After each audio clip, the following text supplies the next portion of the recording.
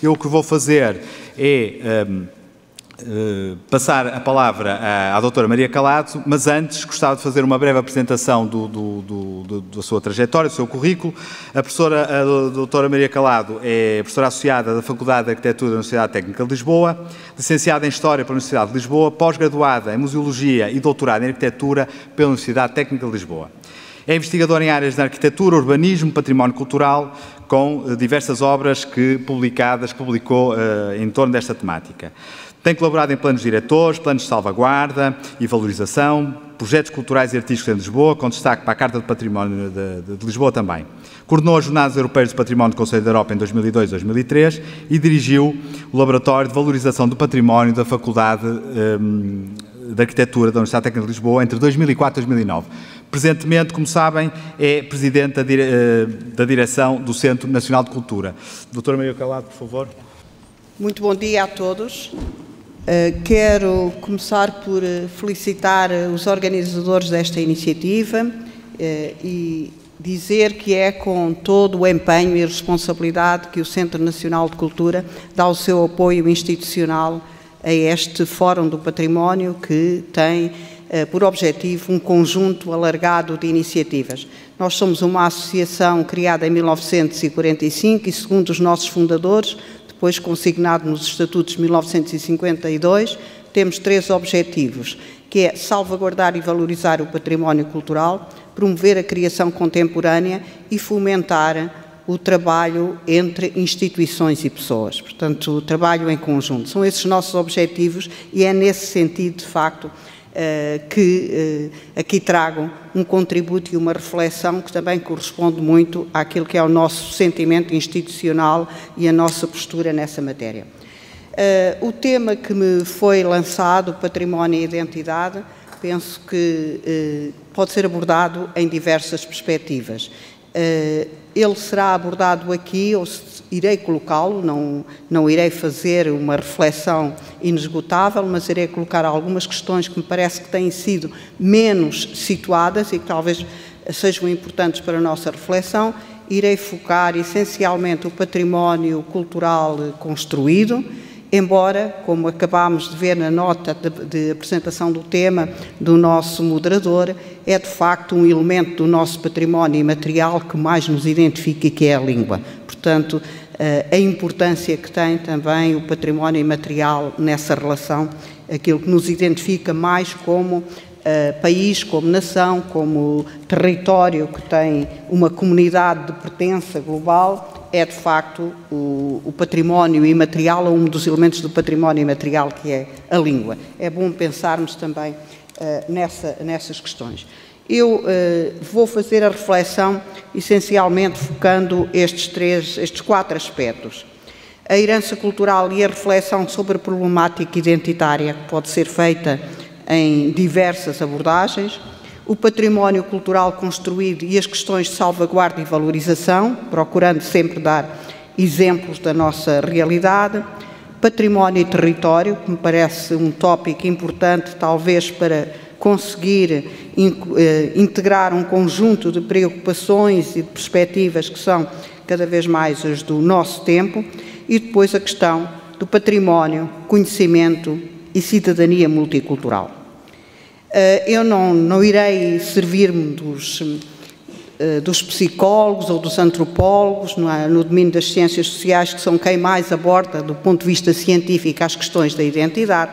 Vou-me socorrer uh, dos poetas, vou-me socorrer de, de, dos pensadores, porque de facto diria que também tem essa capacidade de sintetizar de uma forma única aquilo que pode ser esta questão da ligação do património e memória.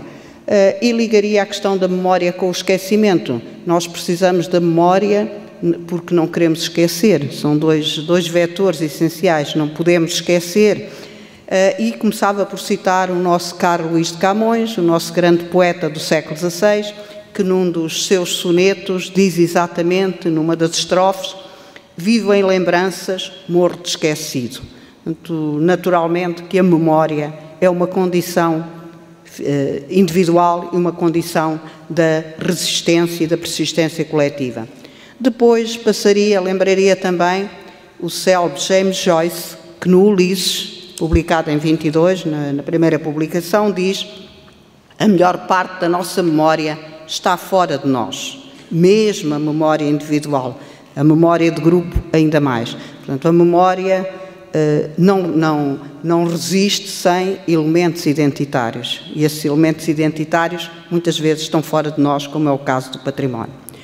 Também do nosso querido Eduardo Lourenço, a memória está em permanente reconstrução. A memória não é algo estável, ela está em permanente reconstrução, diriam os uh, cientistas sociais que as memórias projetam-se, valorizam-se, reconstroem-se. E depois ainda mais uma artista plástica e, e, também da área de, uma criadora da área da poesia, Ana Atterley, nas Tisanas, que diz que a memória é essa claridade fictícia das sobreposições que se acumulam. De facto, a memória é o que se acumula no tempo longo e que tem uma forma na dimensão da nossa contemporaneidade. Esta relação de passado, presente e futuro eh, tem também aqui um enquadramento essencial. Não é possível falar de identidade sem estabelecer essa relação passado, presente e futuro, porque eles não são indissociáveis. Uh, e citava aqui alguém da história da arte uh, que me é querido por esta razão, menos querido por outras, mas é Henri Faucillon, que é citado por George Kubler na Forma do Tempo, da Shape of Times, em 1962. Ele cita, de facto, eh, que dizia que o passado não serve senão para conhecer a atualidade, eu diria para agir na atualidade, mas o presente escapa-me. O que é então a atualidade? O que é essa atualidade onde a densidade do passado tem que ser essencial? E terminava ainda com Eduardo Lourenço nestas citações: só temos o passado à nossa disposição. É com ele que imaginamos o futuro é difícil chamar por vir ao futuro de quem não teve realmente um passado. O verdadeiro tempo dos homens é um eterno presente. É do que somos como presente que temos ou não um certo futuro. E nesse presente, se sabemos ou não reconhecer o passado. Ele insere esta, esta expressão, esta, esta, esta reflexão num pequeno livro, Nós como Futuro, publicado exatamente no âmbito da Exposição uh, Internacional de 1998. Portanto, que questões é que se podem colocar, que pistas para reflexão poderíamos colocar? Aqui em relação à primeira linha de abordagem, das quatro que referi no início, nesta que é a herança cultural, ou seja, património, e a reflexão sobre a problemática identitária é que eh, história eh, e memória e identidades são de facto três elementos. Identidade, eu diria, no singular, no coletivo, ou exprimindo um coletivo, ou no plural, exprimindo a diversidade, a diversidade eh, regional, a diversidade de grupos, a diversidade de, de várias, várias expressões.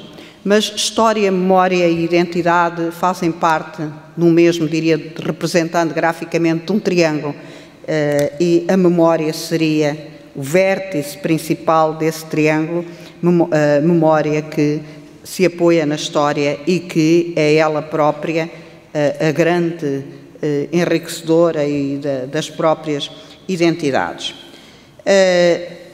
como, diria, como dizia também, a história não é, não é qualquer coisa de abstrato, a história é tanto o processo temporal que se desenrolou, história é um processo, história enquanto uh, experiência humana é um processo coletivo longo, ou história encarada também como área disciplinar, a tessitura, a compreensão, a interpretação desse processo, desse processo longo. Uh, e essa, essa memória histórica eh, envolve, portanto, eh, o próprio passado e o próprio presente.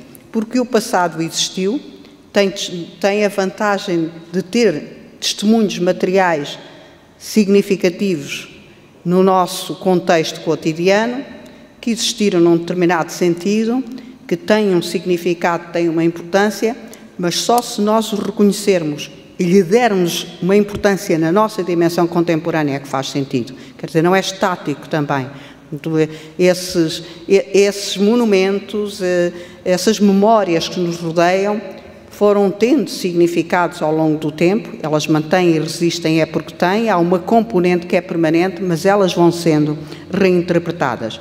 E há até uma interpretação mais na linha fenomenológica do património que diz, de uma forma quase provocadora, o património só existe, património cultural, no sentido material e imaterial, só existe quando nós reconhecemos existências, quando o sujeito fruidor lhe reconhece existência. Portanto, a importância que tem uh, esta, esta nossa uh, apreciação coletiva no presente.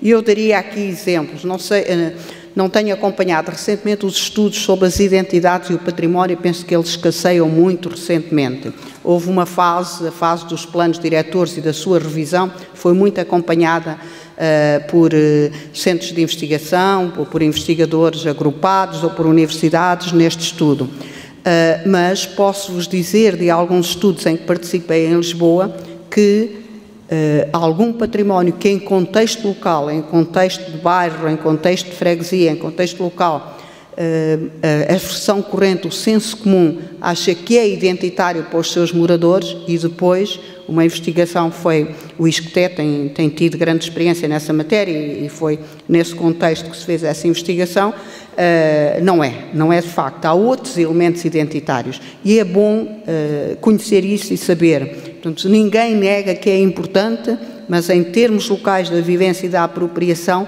nem sempre é o elemento identitário. E para que resista e para que possa ser apropriado, é bom que o seja. Há uma pertença coletiva, há uma herança comum. Património é o que herdamos da nossa, na nossa história, da nossa memória eh, do nosso passado comum e é uma pertença coletiva. E como herança na nossa tradição cultural, ehm, que é de tradição clássica, greco-latina, mediterrânea, como quisermos, herança quer dizer uh, usar bem, melhorar e transmitir, para além da definição que possa haver de património. Esta conotação se a transpusermos para a nossa experiência individual do que é herança, é sempre receber, uh, usar bem, em nosso benefício, usar, o sentido do uso é importante, e transmitir. Daí que uh, um bem patrimonial tenha significados e valores múltiplos. E há valores que são objetivos. Estamos num, num espaço que é património classificado. Portanto, um, um espaço do século XIX, projeto do nosso grande arquiteto José Luís Monteiro, que fez de facto grande parte de edifícios em Lisboa, exemplar, dizemos nós, da arquitetura do ferro, mais do que isso, um espaço para debate, para estruturas uh, associativas, etc. Mas este, este espaço tem valores objetivos pela sua forma, pela sua beleza artística, pela, pelo enquadramento dentro da estética da época que o produziu, são valores objetivos. Mas há, além desses valores objetivos, valores projetados. Esses valores são importantes. Os valores que grupos uh, ou indivíduos projetam, uh, certamente há aqui muitos valores projetados de reuniões do primeiro, do, de alguns congressos republicanos que aqui se realizaram, uh, e grupos ou indivíduos terão ainda mais projeções. E essa dimensão do valor, do, do valor de memória, que é um valor projetado, é muito importante. Há também que pensar na, na, dimensão local e na dimensão universal, e nós temos esses casos com o, o, património classificado como o património inscrito na lista do património mundial, portanto, os bens inscritos na lista do património mundial, têm uma dimensão uh, universal, para além da dimensão local e nacional. E há que pensar na relação, uma relação muito saudável que é preciso entre herança histórica e criação contemporânea. O património é o melhor espaço para acolher a criação contemporânea. Falávamos há pouco aqui um pequeno grupo deste espaço que acolhe uma coleção, uma notável coleção. Uh, esta notável coleção que seguramente irá tender para ter uma apresentação museográfica contemporânea, não é? Esperamos todos que, que venha a ser, já tem esta função, mas que possa ser ainda mais tratada uh, segundo a museografia contemporânea. Portanto, essa ligação à contemporaneidade tem que existir, mas isso pressupõe as célebres questões de coerência a abordar. Portanto, aqui tradição e inovação e, uh, naturalmente, passo mais rápida sobre as questões de patrimonialização. Passando ao património construído, a salvaguarda e valorização, uh, estabelecia a necessidade desta relação nós preocupamos-nos muito com o património cultural construído, o célebre PCC, eh, que é importante, que vemos que se transforma muito rapidamente de facto é importante. Estamos num tempo de aceleração e é preciso que as coerências se mantenham, e daí a preocupação de todos nós e deste fórum, essencialmente. Mas eu acrescentaria ainda que esse património construído, para além do valor que ele tem na sua objetividade material edificada, eh, é também importante para o património cultural e material. Se desaparecer o físico edificado, o território ou edificado, o património imaterial desaparece, porque ele tem que estar agregado, mesmo aquilo que é mais do domínio da invenção uh, coletiva, as lendas, as tradições, as figuras e factos, elas precisam de um local, elas precisam uh, de, do físico. Uh, e uh, eu diria que nós temos muitas as diversas abordagens no âmbito dos organismos internacionais e não vou entrar no domínio das convenções e recomendações, a Direção-Geral do Património tem isso muito bem tratado e disponível ao público, mas eu diria que uh, nós nos regemos por um conjunto de, doutrinário de três organismos essenciais, a Unesco, o Conselho da Europa, a União Europeia da, da Unesco, a dimensão de património mundial e as categorias de monumento, conjunto, sítio, paisagem cultural e a discussão mais emergente sobre, sobre territórios culturais, sobre paisagem urbana, etc., que falarei também. Uh, o Conselho da Europa, que uh, nos amarra muito nas suas diversas uh, eh, recomendações e convenções para o território e para o dever de uso. Lembro que a Convenção Quadro do Conselho da Europa, que foi exatamente coordenada por um português, o Dr. Guilherme Oliveira Martins, eh, que foi aprovada em Faro em 2005, por isso conhecida por Convenção de Faro, ela nos remete muito para a necessidade de uso, apropriação. O uso tem, tem diversos sentidos também, mas isso é importante. Uh, a documentação, precisamos de trabalhar mais a nossa documentação, quer a documentação sobre os processos de classificação e a sua disponibilização, quer a documentação subsidiária do conhecimento do património. Digitalização de arquivos, etc., é uma área essencial uh, a trabalhar. Uh, o sistema de proteção, eu eh, passaria um pouco mais rapidamente por isto, portanto, o sistema de proteção está consignado pelos vários regimes de proteção e de classificação, eh, mas, portanto, sobre as várias categorias, já foram revistas recentemente, talvez ainda valha a pena trabalhar mais nessa matéria para haver alguma equidade. Não valem mais os bens do passado do que os bens eh, de um presente ou de um passado mais próximo, tudo isso é preciso equilibrar e desenvolver também o valor da dimensão regional, o valor uh, à escala regional. As várias tutelas. Uh, as tutelas são várias, desde as públicas, espalhadas pelos vários organismos da administração pública, e as tutelas privadas. Não esquecer as tutelas privadas. Têm obrigações e têm direitos. Eu digo sempre que têm obrigações, mas nós vivemos num Estado de direito e a propriedade privada é sagrada, tem deveres e tem direitos. Uh, o uso é uma área onde devemos refletir. Eu penso que estou aqui a trazer tópicos para, no futuro destes nossos trabalhos, que espero que se continue, refletir. As questões do uso são muito importantes. Nem todo o uso é adequado e nós podemos encontrar vários exemplos como a questão do uso foi, de facto, o erro.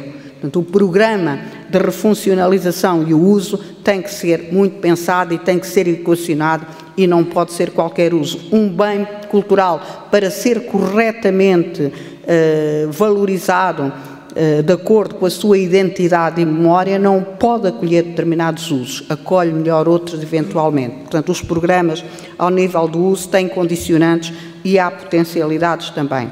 Depois, a questão do enquadramento geocultural de, em várias regiões e a, e a, pressão que se vivem, sobretudo nos contextos urbanos, são aqueles onde eh, há, de facto, maior dinâmica e transformação. E, eh, já quase à laia de conclusão, eu diria que as questões que se põem são muito no domínio do património e território, e temos que explorar esta dimensão, porque a memória coletiva tem que ver com a comunidade, comunidade geral, a comunidade de pertença. O território, o território é também um recurso cultural e social. Não basta um bem cultural, um edifício uh, e a sua área de proteção. Uh, cada vez mais o território é ele mesmo um bem cultural e um recurso cultural e social com toda essa dimensão que o social pode arrastar até ao económico. Uh, dizem os economistas que é um ativo estratégico. Acho que devemos debater esta questão. Penso que é, e para que o seja, é preciso, a montante, protegê-lo uh, e, e, e utilizá-lo na sua, na sua verdadeira identidade, sem pôr em causa a tal transmissão que é essencial. E temos que considerar a existência de territórios de valor cultural. Há territórios de valor cultural que não são, pode ser um bairro, que, e que tem, temos que refletir sobre isto a nível internacional e nacional. Nós sabemos que a própria paisagem cultural no, na, categoria que a Unesco estabelece é um território cultural, eh, mas a paisagem urbana histórica e não paisagem histórica urbana, porque uma paisagem urbana uma paisagem é histórica, no contexto de cidade, porque ela é urbana, ela nunca é, não há paisagens medievais, não há paisagens renascentistas, não é possível. Nós temos o acumular, temos essa eh, tivemos essa história tão rica que foi a acumulação de sedimentações conseguindo manter coerências eh, e apropriá-las. Portanto, paisagem urbana histórica. A própria Unesco lançou a discussão, isto depois foi muito enviesada aí pela paisagem histórica, mas eu acho que devemos refletir, ou proponho, não tenho, não tenho certezas, tenho convicções eh, apenas eh, e dúvidas muitas, mas paisagem urbana histórica, diria, Alfama é uma paisagem urbana histórica, ela tem sedimentações, acumulações, memórias. E o conceito de território cultural pode ser aplicável. É um conceito relativamente recente, pode ser território cultural, é tanto um, um, um território físico que ao longo dos tempos foi adquirindo uma densidade cultural e que se expressa nos elementos que neles estão e que se relacionam, que são indissociáveis entre si e que são indissociáveis da própria território físico. Uh, território cultural pode ser ainda outra coisa que não tem que tem sobretudo aplicação países como o Canadá ou como a Austrália que são territórios que têm pré-existências mas nos quais é, são instalados eh, equipamentos culturais e, outras, eh, e, e, outros recursos que podem eh, colaborar para a coesão e para a identidade de uma comunidade que ocupa esse território. Mas explorar este conceito de território cultural vale a pena, porque ele não é fácil, exige uma abordagem integrada e multidisciplinar e coloca-nos a questão de pensarmos o ordenamento cultural do território em todas as figuras de intervenção no território, eh, planos de diversas escalas, o ordenamento cultural deve estar presente. E o ordenamento cultural tem as suas coerências, eh, está, é uma abordagem que não é fácil, mas é estimulante o ordenamento cultural do território. Isso exige a questão das políticas públicas e a articulação entre as políticas do setor cultural e dos outros setores que intervêm nesta matéria, eh, e isto naturalmente está relacionado com uma discussão muito presente, que eu penso que vai estar noutros painéis, que é a relação entre cultura e turismo. Pode pôr-se através dos itinerários, dos itinerários culturais, eh, eu diria que podia levantar a questão. Acho muito interessante que haja a rota das catedrais, mas isso não traz nenhuma mais-valia em termos do conhecimento. É uma rota, já é bom, é identificado, mas ela não é propriamente um itinerário no terreno, ainda há muito a fazer por aí. É um, e outros casos que é preciso trabalhar para que depois o turismo é um setor por natureza dinâmica e a cultura, vale a pena dizê-lo, é um setor por natureza conservador, no bom sentido, porque temos que conservar o património. Para que o setor, que anda mais rápido e é mais dinâmico, não avance sem uh, a responsabilidade da, da, componente cultural, é preciso que tenhamos, que tenhamos estas convicções e esta situação. Portanto, eu iria uh, passar este, uh, e concluir com o último tópico, que é o património, conhecimento e cidadania multicultural. Levantava aqui a questão dos direitos do património, no sentido dos deveres, direitos do património. O património não é uma pessoa uh, física, portanto não tem direitos, mas esta expressão acho que faz sentido, é, são os deveres que nós temos para com o património, de salvaguarda, de valorização, de correta preservação e os, o, o direito ao património. O cidadão tem direito ao património, tem direito a conhecê-lo, tem direito a utilizá-lo corretamente. E o equilíbrio entre estas, estas situações é muito importante. Uh, daria um exemplo: o Palácio da Vila em Sintra, para ser corretamente conhecido e visitado na sua diversidade de espaços pequenos, embrincados e que são o somatório daquela construção, não tem espaços que possam ser acessíveis a todos, mas tem que se trabalhar aqueles que são possíveis ter, terem acessibilidade. Portanto, é uma questão, uh, este conjugar os direitos do património com o direito ao património, haverá casos extremos em que o direito ao uso físico pode não ser importante, não, não, vou para o caso português, mas em, uh, nas questões internacionais, uh, estou a pensar Uh, nas, nas grutas pré-históricas. Neste momento está aí a discussão na, na, em Espanha dessa matéria, etc. Uh, eh, o património tem que ser um elemento de interculturalidade. Portanto, ele pertence às comunidades, uh, mas é intercultural. Portanto, tem que fomentar a interculturalidade. Ele pode ter significados diferentes. O mesmo bem patrimonial pode ter significados, sobretudo os projetados diferentes para comunidades distintas. Lembremos o nosso património que teve utilizações eh, muitas vezes eh, cristãs, eh, judaicas, ou cristãs e árabes, ou cristãs e judaicas. Falamos, portanto, não da nossa comunidade nacional exclusiva, mas de comunidades e património. Há várias comunidades de pertença. Penso que devemos desenvolver mais a formação e a investigação, a formação e nestas áreas de investigação para termos um conhecimento ativo, aplicável e é preciso fomentar mais a ligação entre o setor institucional do património, que existe já em muitos casos, mas fomentar mais a investigação. E depois, o património, o tal direito ao património só se exerce quando podemos conhecê-lo e fruí-lo. Para o podermos conhecer, nós temos que ter alguma informação.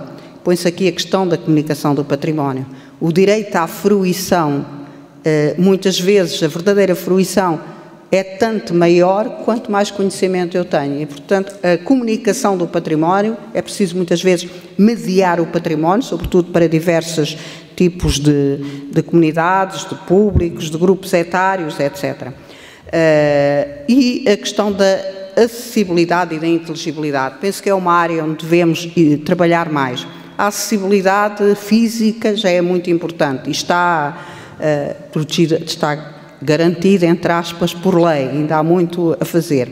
Mas é preciso ir além da acessibilidade física, a inteligibilidade, a inteligibilidade para todos os grupos, para os mais eh, informados, para os que têm mais conhecimento, para os que têm menos conhecimento, para os cidadãos com necessidades especiais. É preciso garantir não apenas o acesso a cidadãos invisuais ou outros, estou a falar neste porque é uma área onde o Centro Nacional de Cultura muito trabalha, mas é preciso que aquele conteúdo seja inteligível. É preciso que as instituições culturais que têm oferta cultural, nomeadamente bibliotecas, museus, monumentos que têm essa dimensão também museográfica, eh, que sejam inteligíveis. E é trabalhar aí no domínio da inteligibilidade. E há várias metodologias e recursos.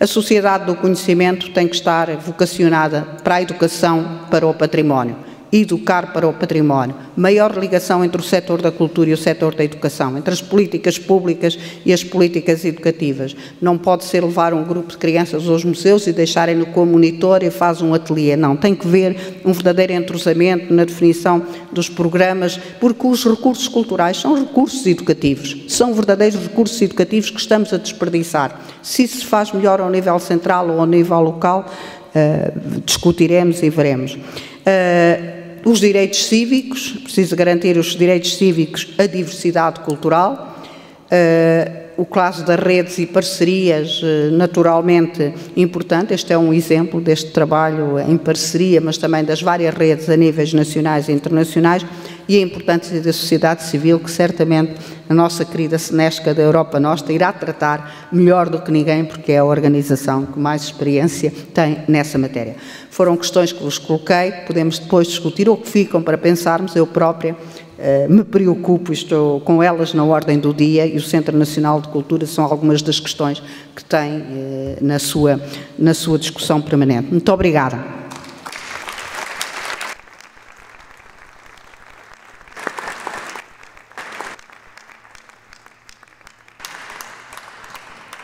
Doutora Maria Calado, muito obrigado. Foi uma excelente apresentação. Uh, Obrigou-nos a refletir sobre muitos assuntos, uh, sobre a identidade, sobre o património que ele representa e uh, como é que ele interage com, as próprias, com, as próprias, com a própria sociedade ou como deve interagir com a própria sociedade. Ficou alguns aspectos importantes, mas no final eu farei, digamos, também um apanhado sobre aquilo que foi todo o tema. Muito obrigado mais uma vez.